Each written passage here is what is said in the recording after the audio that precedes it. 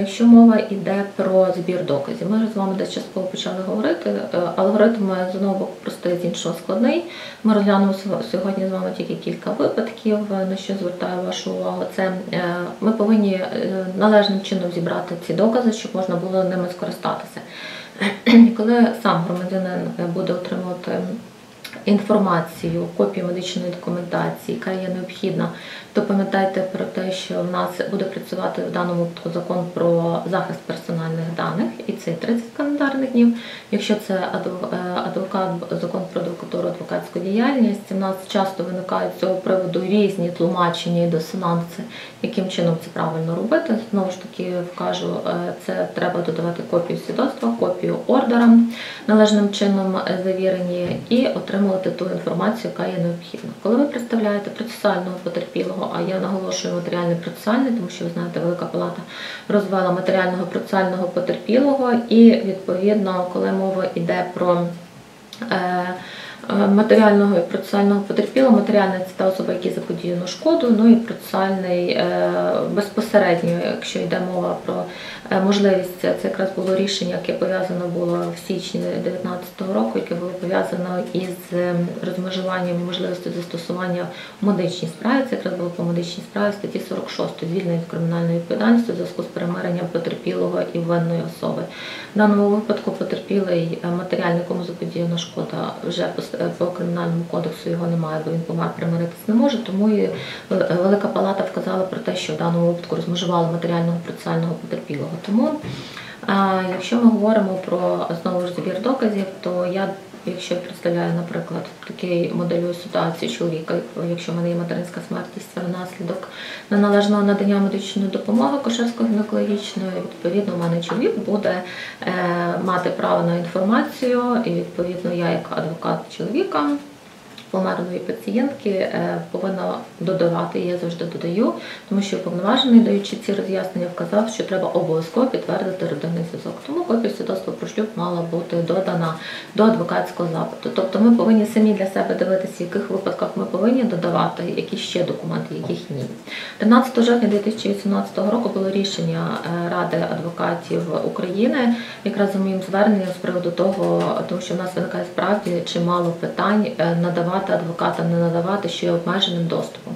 Часом адвокати е, зловживають також своїм правом, використовуючи, е, представляючи інтерес свого клієнта, але просять отримувати інформацію, е, інформацію про протилежну сторону. Тому зрозуміло, що такого робити не можна, і ми маємо право на отримання інформації виключно про свого клієнта. Якщо нам потрібна інформація про протилежну сторону, у нас для цього є законні інструменти. Ми можемо це або на підготовчому засіданні заявити, якщо йде мова про кримінальний процесуальний, е, це ми можемо звернутися до слідчого з.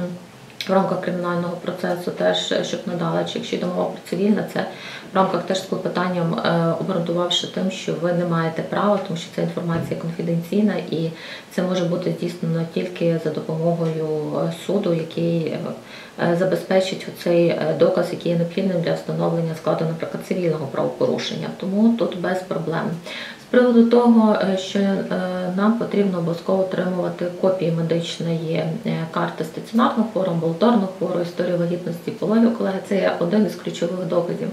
У справі е, пам'ятайте е, про те, що дуже важливо, я завжди беру такі документи у зв'язку з тим в повному обсязі. Для того, щоб скласти належним чином будь-який процесуальний документ, необхідно кожному адвокату навчитися розуміти форму і зміст цього документу для того, щоб правильно будувати і клопотання, заяви на клініку експертну комісію, е, пропозиції до питань, які ви можете, якщо ви представляєте потерпілу сторону.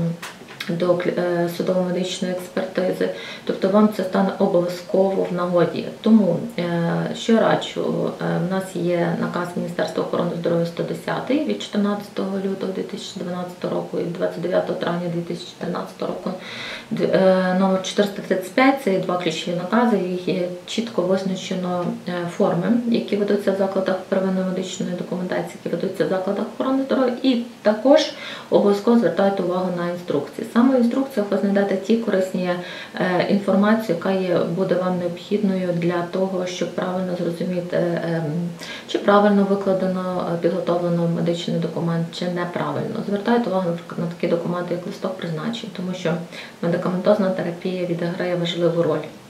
Щоб розуміти, які лікарські препарати призначалися, чи правильно місце визначено, чи правильно використано форму листка е, саме лікарських призначень у зв'язку з тим, е, що в нас ще часто в закладах охорони здоров'я використовуються нечинні форми. Тому е, пам'ятайте про те, що ведення належним чином медичної документації це є одна із вимог ліцензійних умов.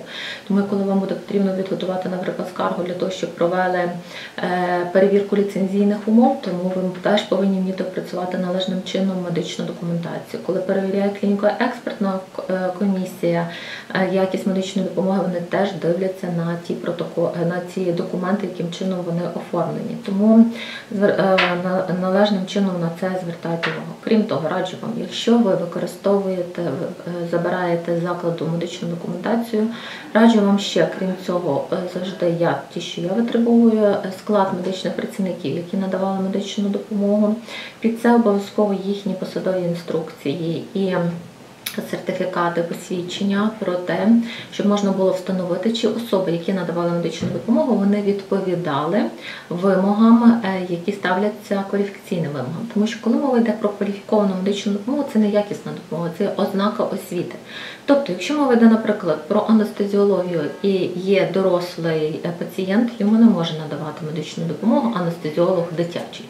І навпаки, тому це дуже і дуже важливо.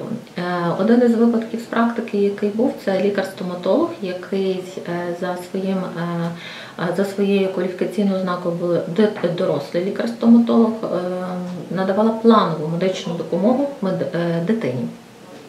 При наданні стоматологічної допомоги, яка включала не тільки пломбування, а ще й видалення зуба, відбулося неправильне знеболення, яке потягнуло за собою те, що був больовий ефект. Дитина вибила, е, вдарила лікаря в руку, зуб попадає в гортань і дитина помирає е, вже в стаціонарі.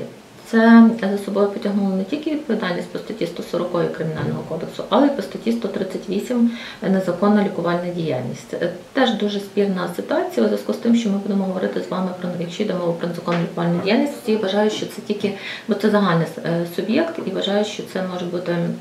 Не тільки ті особи, які не є е, медичними працівниками, хоча ні. Е, Тут є і судова практика вже під це, що можуть е, що це будуть і медичні працівники, якщо вони займалися не за профілем своєї діяльності. Тому, хоча це не така значна ще судова практика, коли є поєднання 138 і 140 Кримінального кодексу України. Якщо надавав медичну допомогу медичний працівник неякісно, то ще за своїми кваліфікаційними ознаками не відповідав тим вимогам, які ставляться до такого виду е, осіб е, за своєю кваліфікаційною ознакою. Тому коли ви витребували такі сертифікати, ви повинні подивитися, чинні, не чинні. Також раджу вам обов'язково, е, коли йде мова е, про посадову інструкцію, ви теж повинні подивитися, який обсяг прав і обов'язків є закладено. Можу вам сказати про те, що посадова інструкція.